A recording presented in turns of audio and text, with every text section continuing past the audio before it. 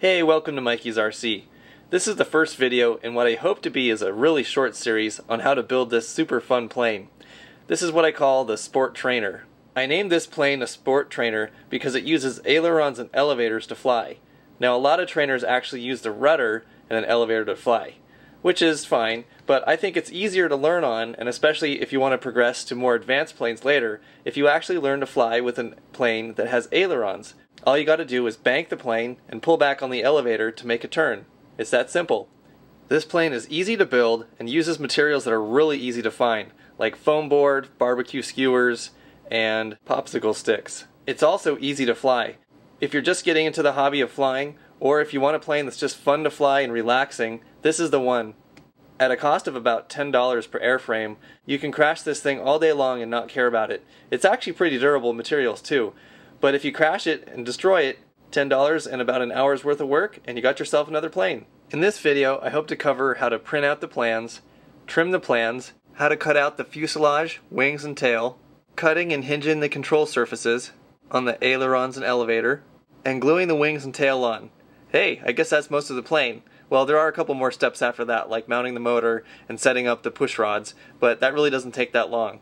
So without further ado, let's stop yapping and get to building the first thing you want to do is go to mikeysrc.com and find the page where we've got the free PDF downloads and download the plans for the Mikey's RC Sport Trainer. So there's 12 pages to the plans. They're going to look like this once they're all printed out.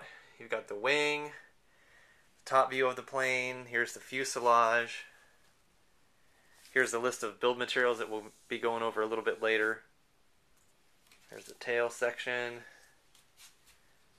the uh, motor mount pieces, and here's also a nice 3D view which will help you put the plane together and show you where things go. And over here I've got pretty much all you need to put this plane together. Got hot glue. You can use 5 minute epoxy if you want, but it does take longer.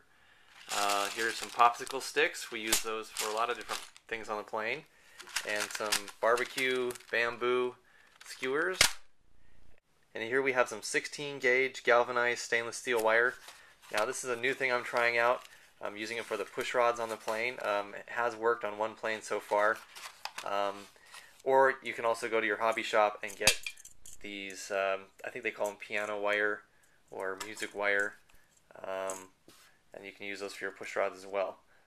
And then of course we've got our foam core. This is just a little piece here. It's about a quarter inch thick. And it's got uh, kind of like poster board on either side of basically Depron foam in the middle. And for the most part, you don't have to add a lot of extra carbon fiber tubes or anything to this stuff. It is pretty stiff. And it's pretty durable too. If you get into a crash, it tends to kind of keep its shape. Um, and if it doesn't, you just cut out the bad section. And last but not least, of course, we have a, a really nice, sharp X-Acto hobby knife. And having a nice sharp blade is very important to making the cutting out of your plane easy. Now the reason I've chosen all these materials is because they're really cheap and for the most part can be found just about anywhere. Foam cores from your craft store, you can get this at your grocery store, get this stuff at your local hardware store, popsicle sticks at your local craft store, and of course hardware store, craft store, get your glue gun. I always try and make my planes very easy to build and use materials that are very cheap and accessible to everyone. The first thing you want to do when printing out the plans is to print out just this first page here and it is um, the left side of the wing and it's got a print scale on it. So print this out Make sure that your printer is set to no page scaling, and that way it'll print out to the proper scale. But you still want to check it, so print out the first page and measure this line here. If it measures exactly 5 inches, you're good to go and print out the rest of the plans. So the next step after you've printed out all the pages of the plans is to trim off all the sides.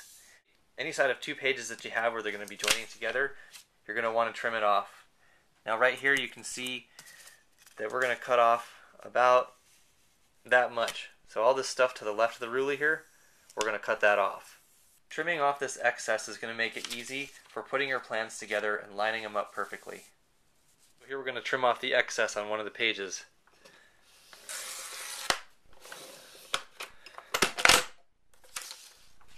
Just like that, trim it off right up to the red and the black lines. Once you've got the margins on all the different pages trimmed, go ahead and start taping them together with a little bit of scotch tape.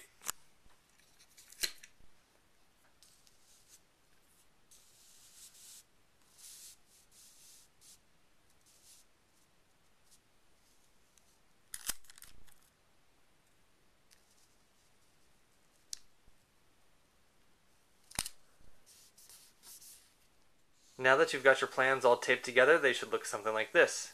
You've got the fuselage, the tail or elevator, and then the wing. And those are the three main components to this plane. It's really simple. Now, when you're cutting out the main wing, of course you have the ailerons here. What I recommend is cutting out the outer edge first. Just cut all the way around the outside of the wing. We're going to transfer that shape onto our foam core. And then once you've done that major outline, then we're going to just cut up here and here and actually fold the aileron up. And that will enable us to do a nice trace on our foam core of where the aileron is. And then of course we can trace along the folded up line right here to get the hinge line. Okay, and here's what it's going to look like once you've cut out all the pieces from the templates. Here's the fuselage, tail, here's the motor mount. There's actually three of these, but of course you only need one template. And the aileron servo straps, you only need two of these. And here's the wing. So the next thing we got to do is take all these shapes and our big old piece of foam core here and we'll be taping them onto it. So now take your templates, lay them out on your foam core, tape them down with just a couple little pieces of tape maybe on each end, like here and here, just to keep them from sliding around, and then very carefully trace all the way around the edge for all the different pieces. Now one thing to keep in mind when you're cutting out the wing for this plane is that it's actually preferred to have a little bit of what's called dihedral in the wing. And so that's kind of like a V shape to it. So if this is my really simple drawing of my plane, here's my wing, here's the bottom of it where the fuselage goes on. And what this does is it actually gives the plane inherent stability. So if you're in a bank turn, it's going to naturally have a tendency to correct itself. Now, foam core, when you get these big sheets of foam core like this, a lot of times they actually already have a slight curve to it. Now, sometimes it's exaggerated enough you actually need to set it out for a night and put weights on it to flatten out.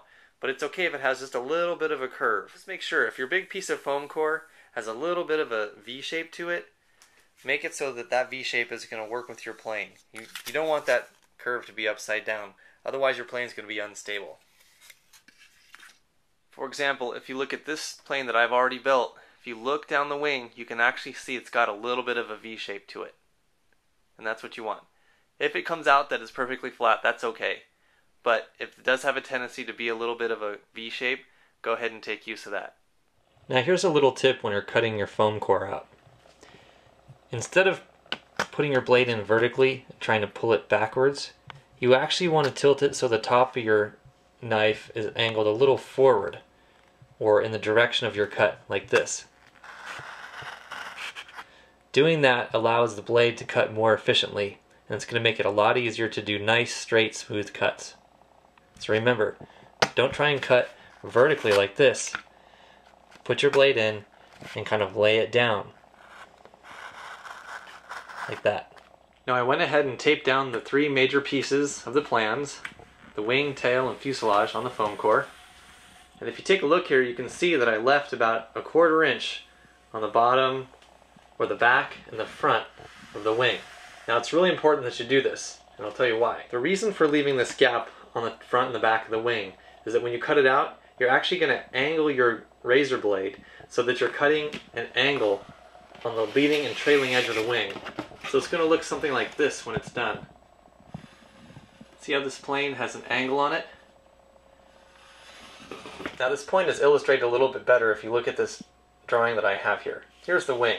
You've got the top and the bottom of the wing, and you can see that the leading and the trailing edge are cut at angles. Now the reason for this is to make the wing more aerodynamic, and it also helps generate lift. And you can also see here that I've got a side view of a barbecue skewer, and there's some tape going over it as well. That's also going to be on the wing. So all this is going to help the wing create lift, because it's a longer path on the top than it is on the bottom of the wing.